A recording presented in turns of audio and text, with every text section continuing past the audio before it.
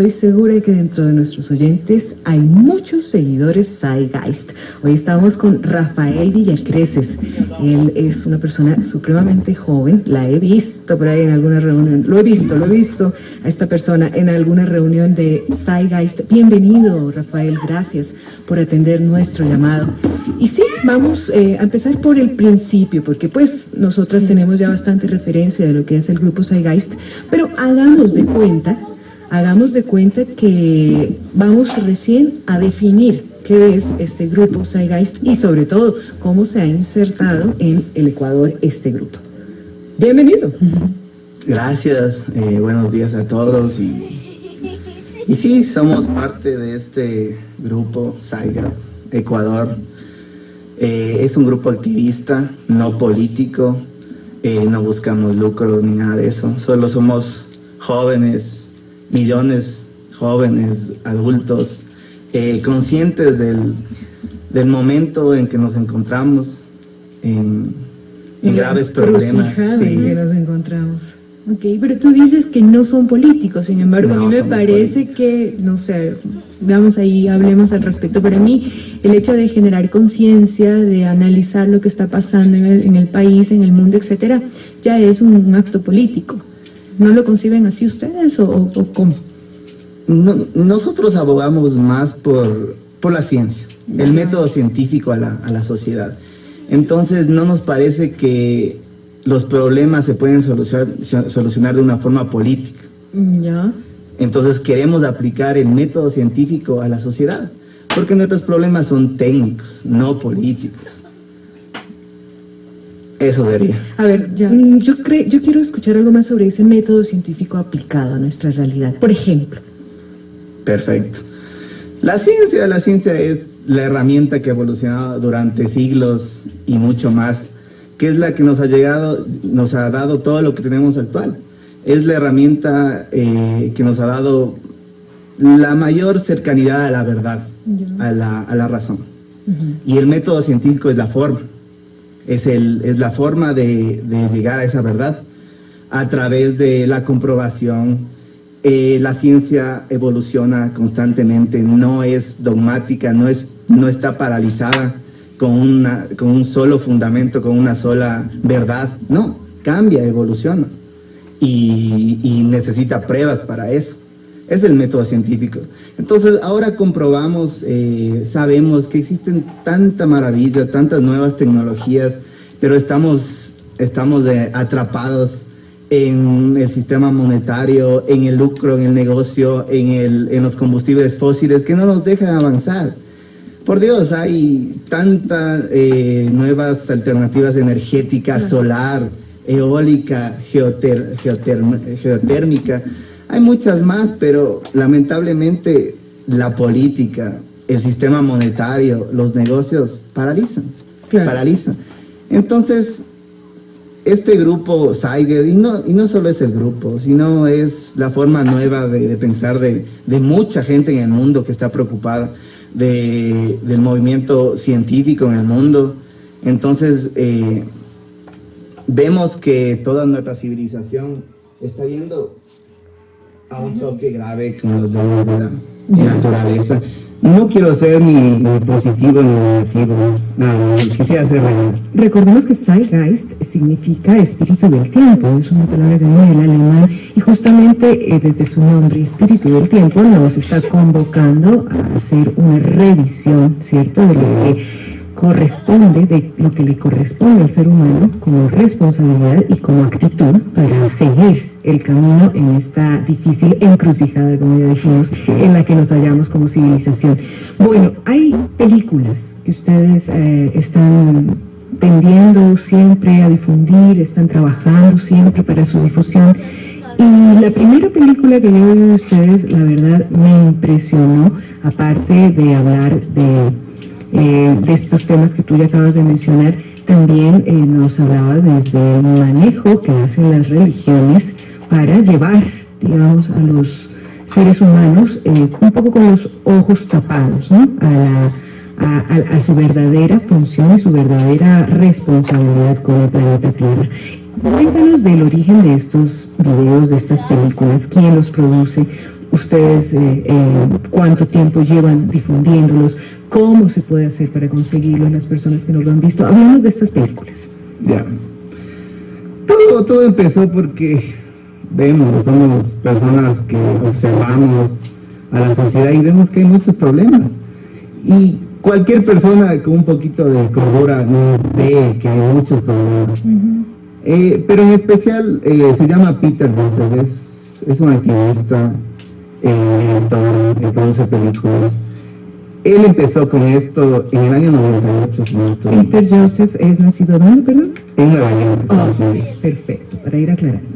Él, él, se dio cuenta, como millones de personas, que algo anda mal, algo anda mal en el mundo, hay muchos problemas. Y realizó esta película solo de una manera artesanal, pero nunca pensó que iba a impactar tanto a la gente. Es impresionante. La primera en la que comienza hablando de religión sí, es de impresionante. Pero no debe ser solamente él, ¿no? Habrá también un grupo también atrás digo yo, para la producción. Es que justamente la primera es muy artesanal, es muy personal eh, de, este Peter Joseph, pero más adelante justamente se empieza a notar que detrás hay un equipo de producción. Esta primera nos sorprendió desde una cuestión muy artesanal que surgió de él y como pues se le juntó tanta gente, pues tocó seguir el camino eh, un poco más eh, ya fortificada, el equipo fortificado. Él publicó la, la película en internet y y nunca se imaginó que iba a recibir millones y millones de, personas que le iban a preguntar, ¿y qué hacemos? ¿qué hacemos? Entonces ni él mismo sabía.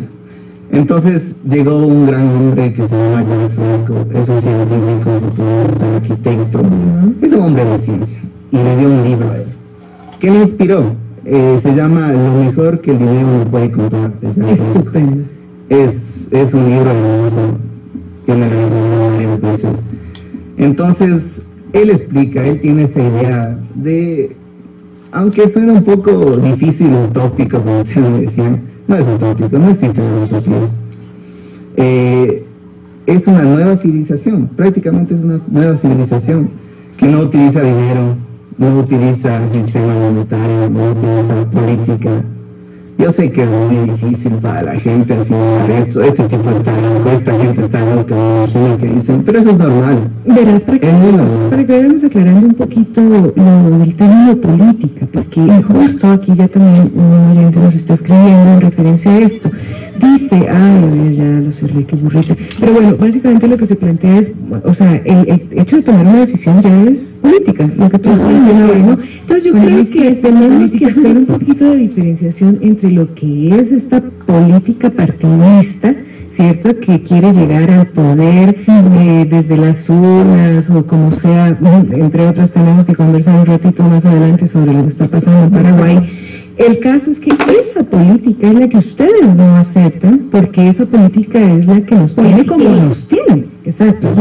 Es una, es una actividad humana muy cuestionable, porque es una forma de querer manejar el poder eh, de formas muy mentirosas, ya lo sabemos. Y Rafael también hacía mención, y ahí, ahí quería, no te corté para que desarrolles la idea que las soluciones no, no, son tampoco políticas, sino que las soluciones vienen de la ciencia. Y yo me pregunto, o sea, si uno utiliza ahora, por ejemplo, alternativas al petróleo o otro tipo de tecnologías, porque existe una decisión política de no hacerlo. Por lo tanto, o sea, no puedes tampoco desligar o deslindar de esa manera lo, lo político, ¿no? Porque está cruzándolo todo.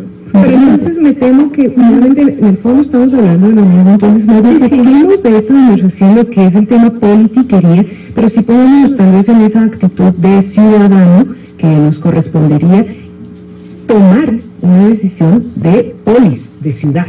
¿Ok? Vamos por ahí, porque el oyente estaba cuestionando esa, esa parte, ¿no? Bueno, este mm, hombre, Peter Joseph, lanza esta primera película, le va súper bien, la coloca en el internet, todo el mundo empieza a observarla. ¿Y qué pasa para el Adendum, que es la segunda película?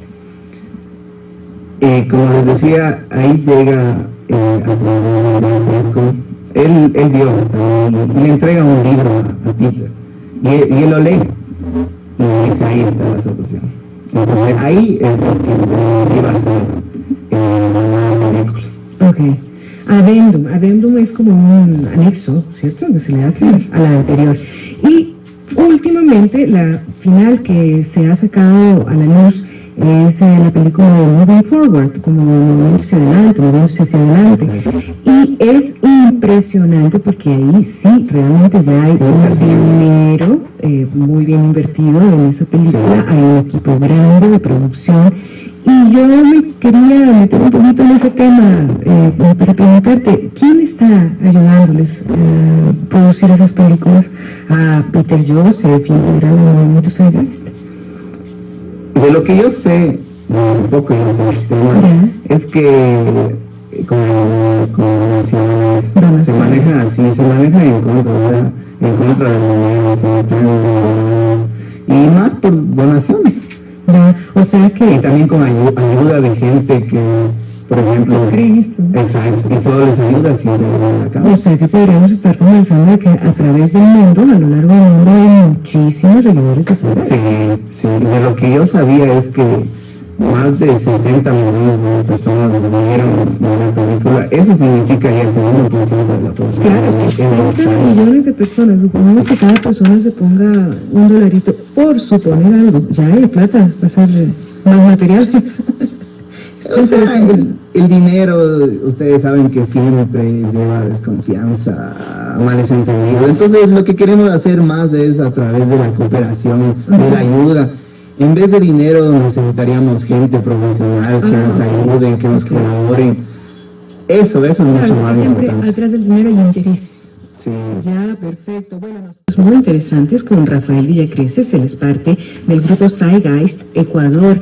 Y me parece clave, Rafael, que sigas así en tu discurso que estabas hablándonos en off, en referencia a, por ejemplo, este, esta situación que se está dando en Europa y cómo este sistema que se basaba en el flujo de dinero, pues está al borde de la finalización, al borde de la, de qué sé yo, ruptura, se va a quebrar por algún punto y ya no va a dar más. Hablemos, cuéntanos. Ya, en primer lugar, eh, lamentablemente es la realidad, ¿no? A mí, para mi forma de pensar, no deseo que, que ocurra eso, que quiebre el sistema, que millones de personas se vayan a la, a la quiebra, al desempleo, a, a, morirse de hambre, pero lamentablemente eso va, eso, a eso vamos, porque, porque nos damos cuenta cuál es el estado de la tecnología. Eso le estaba conversando, el nivel de, de mecanización, de robótica que existe ahora. Les explicaba cómo en Europa, en las grandes empresas, por el lucro, eso es normal, ¿no? Eh, eh, su, su, principal motivación para las grandes empresas y la mayoría de las empresas es el, el dinero. No les importa a las personas, ¿verdad? ni el mundo. Bueno, y ahí frente a eso, ¿qué propone Zeitgeist? Ya, eh, solo quiero terminar esto. Entonces, las empresas están mecanizando a un nivel nunca antes visto. Uh -huh. Prácticamente las empresas, eh, las que producen vehículos, computadoras, cualquier bien, están produciendo en fábricas que prácticamente el ser humano es... No, se, acá, se, se, está acabando el trabajo. Eh, eh, el trabajo que hemos detenido durante siglos, eh, las máquinas nos están sustituyendo. Eh, en las empresas solo están quedando los programadores, supervisores y nada más. Las máquinas lo van a hacer todo, lo, lo están haciendo actualmente ahora todo. Entonces, como tú me decías, como nosotros en, abogamos por, por, por, otro sistema, es otro sistema. No es el mejor, pero sí es mucho mejor al actual. Entonces, en donde la mayoría de gente tenga todo lo que necesite sin dinero, sin dinero. Entonces ahí también viene un, una gran, muchas grandes preguntas. Entonces la gente dirá, ¿y qué, qué va a hacer la gente? Que ya, ya no va a trabajar, entonces nos vamos a dedicar a, engordarnos, a ver TV y no hacer nada. Y eso es totalmente falso. El dinero, el trabajo a través del dinero motiva a la, a la, gente, pero la gente en realidad no quiere dinero, la, la gente quiere lo que a través del dinero compra. Uh -huh. Claro, quiere un nivel de bienestar. Okay. Eh, exacto. ¿Y cómo proponen llegar hasta esa etapa? Porque claro, o sea, tú me dices no utilizar dinero, pero, o sea, ¿cómo llegas finalmente a eso? ¿Hay tal vez como más claras otro tipo de propuestas que, que tengan sí. ustedes? Eh, prácticamente eh, no esperamos que exista este, que, que se dé este colapso, pero es innegable, va a pasar. Entonces, cuando la mayoría de gente va a perder sus trabajos, va a perder sus casas, las hipotecas, su vehículo, se va, va, a salir a las calles. ¿Cómo ya, ¿Qué está pasando en Europa, en Grecia, en Nueva York, ocupa Wall Street? Entonces, ahí va a quebrar el sistema. Entonces, ahí es cuando se puede presentar una alternativa, porque solamente quejarse, y decir, no, esto está mal, no, no, no te lleva a ningún lado. Pero proponer algo, proponer una solución, eso es mucho más viable. Entonces, por eso estamos proponiendo esta nueva forma de pensar ya, ahora, antes que suceda esto. Queremos llegar a la mayor gente posible, queremos educar lo más rápido posible porque ya no hay mucho tiempo. Entonces, cuando todo colapse, presentar a la gente y que la gente lo sepa, diga, podemos hacer un mejor sistema, podemos construir otra civilización con la tecnología. Quería, quería conversar eh, haciendo una analogía a lo que tú me decías sobre la, sobre la política. Y quería hacer esta analogía. Eh, mira, eh, ¿cómo, ¿cómo se construye un puente? ¿Cómo se construye un rascacielos? ¿Cómo se construye tu laptop? ¿Te imaginas que construyeran de una forma política eso, una laptop, un puente? Que un político dijera, no, esto es así, otro político, no, esto es así. El puente se cae mañana o tal vez nunca se logra parar. Pero no, ¿qué es? Es la técnica, tecnología, ingenieros, ciencia, que trabajan para hacer eso. Entonces, eso abogamos. El método científico a la sociedad, una manera inteligente de, de repartir, de utilizar los recursos que tenemos, reciclando, eh, siendo más eficientes, que no exista la, la, obsolescencia planificada. Por Dios, compramos ahora un teléfono y ¿cuánto dura? Tres meses, se daña, cuatro meses. Tu laptop, ¿qué dura? Un año, dos años. De ahí debes comprar otra vez porque vivimos en este consumo cíclico que para la economía actual es necesario. Oye, pero entonces voy tratando de entender que el fin último es ir sembrando en la conciencia, porque definitivamente lo que son las propuestas, lo que es ya un sistema más estructurado que se propone para reemplazar el existente, es cuestión del el futuro. Ahorita es conciencia, básicamente. Sí. Sembrando. Tenemos un, mensaje en el Facebook. Es necesario tener gente que se levante y grite con su voz, pero la herramienta más fuerte del poder o, del sistema es la posibilidad de, creer, de crear su propia oposición. Eso le da un valor democrático y pluralista, aunque suene increíble. Los grupos de activistas se convierten en actores que promocionan las herramientas de defensa de las transnacionales. Es decir, si una empresa maderera es enfrentada por un grupo de activistas, la maderera utiliza ese boom mediático para mostrar su responsabilidad social, su apoyo social. Y eso juega en el imaginario social. Yo sé de gente que ve la publicidad de responsabilidad social de una empresa de gaseosas que conocemos y se siente afín a su trabajo. Esto empeora si los activistas se presentan como no políticos. Eso es ignorar el papel del ciudadano y peor aún, desconocer las dinámicas del poder que quieren enfrentar. Y bueno, estos grupos muchas veces funcionan con los mismos dineros de quienes combaten, ya sea de manera directa o sin, o sin descaro o recibiendo reportes anónimos. Recuerden que el sistema nada le cae peor, mejor que una oposición sin fundamento político. Una base política real propone un nuevo sistema, no la reformulación del mismo que ya tenemos. Y fuera de eso, escribe más adelantito, qué mirada más reducida de la política, qué pena escuchar ese tipo de activismo. Definitivamente la pelea sigue siendo sobre el término de la política. Hay, naturalmente, ustedes saben al interno del Zeitgeist que hay gente que tiene algunas diferencias con ustedes. Básicamente, eh, ¿cómo manejan eso ustedes y qué diferencias son las que les critican? Yo creo que la pregunta es normal, es totalmente normal porque el estado del conocimiento actual de la mayoría de las personas es muy pobre, muy pobre. Entonces siempre ven todo político y no puede ir más allá, no, no puede, no ven más allá. Sí, yo, yo soy de esas. O sea, para mí toda decisión que uno toma a nivel país, incluso a nivel de ciudadano, es una decisión política. Es que prácticamente desde, desde el inicio de la civilización hemos vivido con esto, entonces es muy difícil cambiar siempre pensamos que la política es la única forma. Tal vez la política fue una gran idea en el pasado, ya no, ya no. Eh, ojalá que, que, le, pueda responder la, la pregunta a, este señor, eh, a esta persona. Es una gran pregunta. Eh, yo creo que se basa por el, prácticamente por el sistema monetario que vivimos ahora a través de la escasez O sea, todos queremos ganar, todos queremos eh, ganar al otro, competir, entonces siempre la gente piensa, eh, no, deben ser eh, afines a transnacionales. Yo, yo he visto cómo Coca-Cola a través de sus buenas intenciones quiere sacar activistas, eso es falso. A las empresas lo, único que les, eh, les interesa son las ganancias, pueden ser hipócritas. es desde el activismo, desde el activismo, así no ganen más dinero, por lo menos si reducen lo que son los impuestos. Claro, eso, se están ganando. Por eso finalmente necesitan aprobación. crean fundaciones. para poder Entonces, para, para terminar, yo, yo quisiera decirle a esta persona que nosotros no recibimos apoyo de nadie financiero proclamamos el, el fin del sistema monetario, el dinero. El, dinero es la principal causa de todos nuestros problemas. Hay una restricción a través del dinero. Eh, hay una escasez que es eh, artificial, se podría decir, porque ahora tenemos la capacidad de, de, producción. Miren cómo están su, el, el, Supermaxi, está lleno de cosas. Eh, vayan a, a, los centros ferreteros, hay tantas cosas porque la producción, la tecnología está a un nivel ahora nunca antes visto, pero todo esto está oculto a la mayoría de las personas. Entonces nosotros abogamos por el fin del dinero, por el fin de la competencia.